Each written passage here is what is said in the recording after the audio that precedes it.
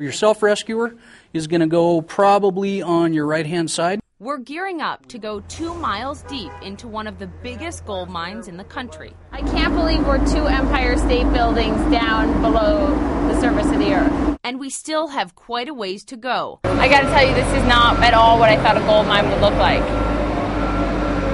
It's exactly what I thought it would look like. Hunting for gold goes all the way back to 4000 BC, and today the obsession continues. Here in Barrick Gold's Cortez mine in rural Nevada, more than 1 million ounces of gold were mined last year alone.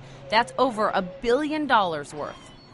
Geology has figured out where the pod of ore is, and then they just point us toward it. But finding gold these days is much more complex and expensive than just, well, panning for it. In fact, you can't even see the gold in this mine.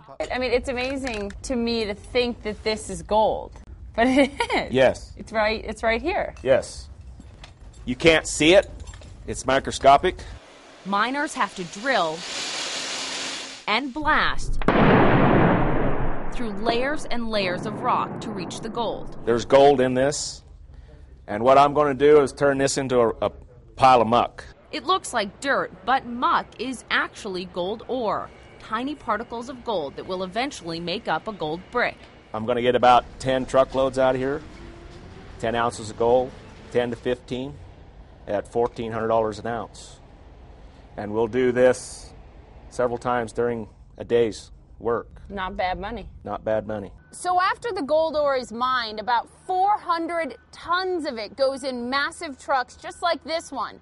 Of that, only four ounces is pure gold. It's taken, it's crushed, then it's taken in the mill, and then it's refined. After the ore is crushed and ground, uh, we leach the gold out. From there, we put it into a pressure cooker environment, high temperature and pressure, with various chemicals, and it pulls the gold out. And this is the final step before pouring the gold bar.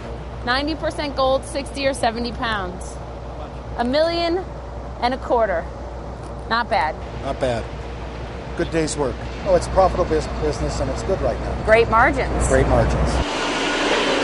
Barrick mines gold for around $300 an ounce, and gold is selling for record highs around $1,400 an ounce.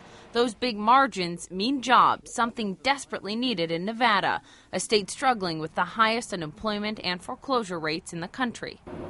I can provide for my family, you know, and I don't know any other job in this world that can. I get paid for what I get paid and survive now these days, the way the prices are. There's job security here with gold that high. Not going to run out of work.